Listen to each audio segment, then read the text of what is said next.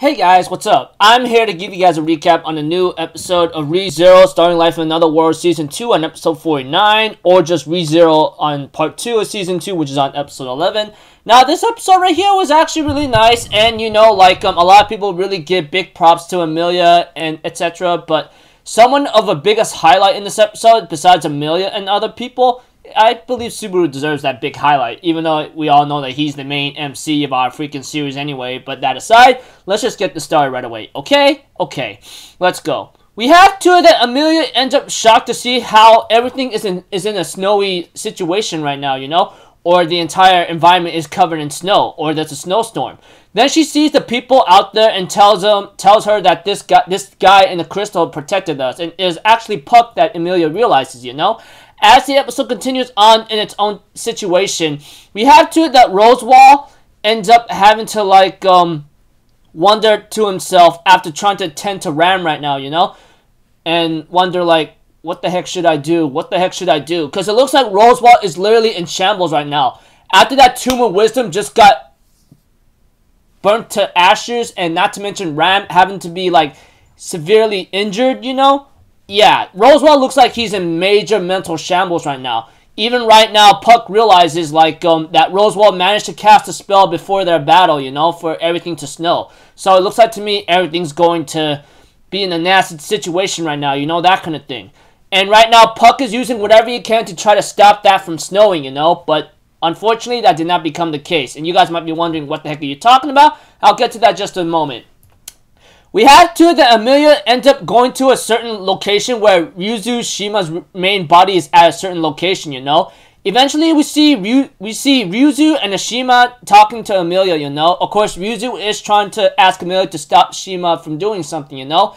We had to that Shima tells Emilia that she had a certain goal and that because Emilia completed her trial, she can now fulfill her role. I think that's like um getting rid of the crystal or the barrier, you know, whatever the case may be whatever the situation is is concerned or whatever it is that's that's currently in an investigation or right in front of, front of her, front of Emilia, this Shima or Ryuzu Shima says like um I'm here to fulfill my role since you fulfilled yours. I want you to take care of like um everyone else as the, to the best of your ability, you know that kind of thing.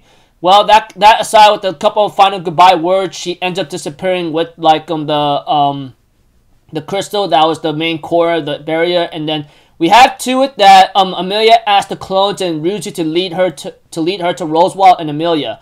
And we see to it that Amelia is led to where Roswaal and Ram is at and was trying to is trying to get is trying to like, hey, what's up? How you doing? But as for Roswaal,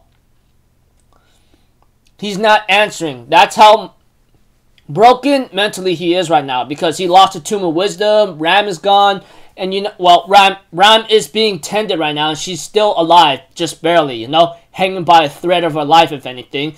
And right now, Amelia's trying to tell Roswaal, we gotta go, we gotta go. But Roswaal's like, what's the point? I'm giving up right now. What the hell is the point? But Amelia's like, I don't care if you say that. We're getting the hell out of here, you know? But unfortunately, like I said, even though Puck was trying to stop the snow from happening, it's already too late. You know those infinite rabbits, you know? Yeah, those little, those little nasty little motherfuckers that would eat you alive and severely, what you may call it, painfully give you the worst death possible. Um, they are still they they came they come to the snow and they see Amelia there, and we had to Emilia is using everything she can to try to protect everyone at the sanctuary at the graveyard, you know, whatever the case may be. Now, the second half is still at the mansion, and we get to see a backstory about Beako or Beatrice, you know, where Emil, where Echidna or Echidna, how you want to pronounce her name, ends up telling Beako, I'm going to leave you with all the knowledge I have in this library and in this Tomb of Wisdom. I want you to wait for that certain per that person to show up eventually, okay?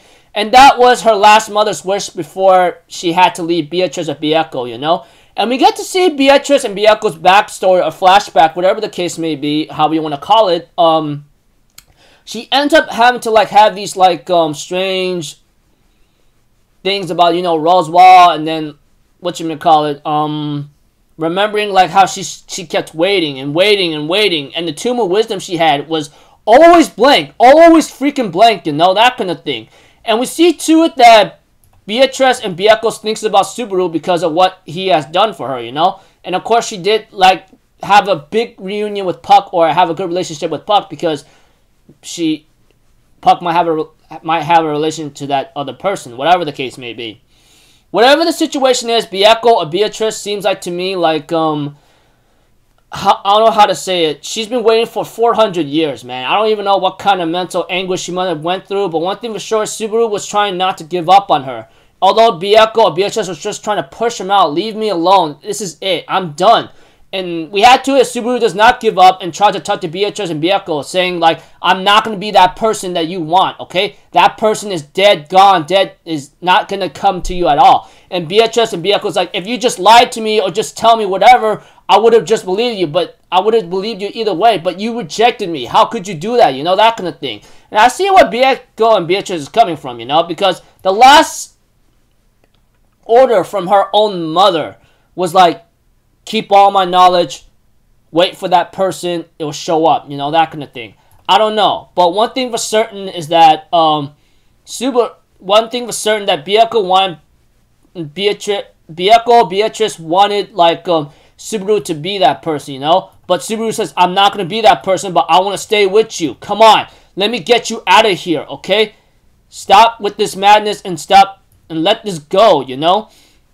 And we have to, we have to that after much convincing and tries to talk to her, unfortunately, Beako and or Beatrice says, no, get the hell out of here, you know? She ends up having to push Subaru out of the mansion because it's about to fall, it's about to be in shambles or it's going to th throw into ashes right now, you know, that kind of thing. But we had to that Subaru does not give up and notices one more door in the mansion and decides to go there. And therefore, Subaru finally finds the finds the last door to the mansion and asks Beako to save him, you know? And then we have to that he wants to be with her. You're very strong, you're nice, you're cute, you got this good side of you.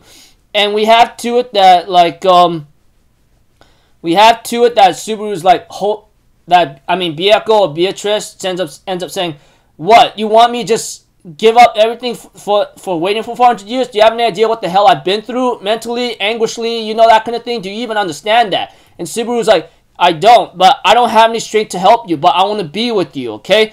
Pretty much like um throughout this freaking like um throughout this talk that Subaru's been having with Beako Beatrice, you know, he's pretty much telling her like, seriously, stay with me, help me. I'm weak, I can't help you, etc.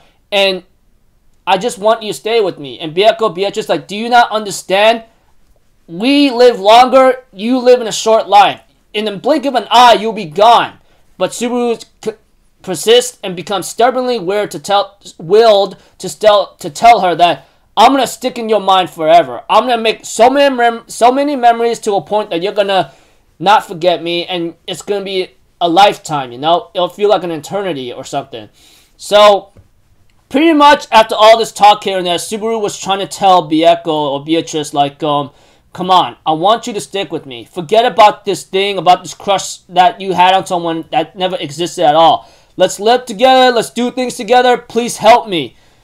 And we have to that after much convincing, you know, we have to it that Beako Beatrice finally decides to go with Subaru, while Otto and everyone else is concerned about Subaru, but he managed to survive with Beako Beatrice finally deciding to go with him.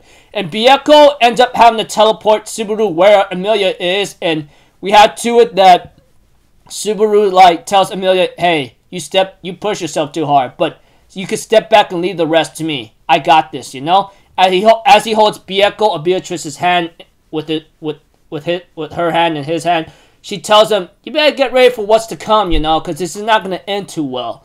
And we have two that Be- that Subaru's like, "Yeah, well, I'm freaking ready of what's to come, you know, etc." Now. in this episode, you know, Amelia, you know, we all know that she was a shy, weak girl, you know. She was very strong. There's no denying that. We all knew that. We we got to know her backstory and everything else all together when it came to this se- season 2 or part 2, you know. We got to know how she is and what she is, you know. She's not strong mentally and she really needs that like um push, you know. And Subaru is giving her that push, you know, despite the fact like her being a pain in the neck, causing a lot of pain, causing a lot of issues and problems for everybody else. Always doubting herself, never had any self confidence, you know. Subaru got her.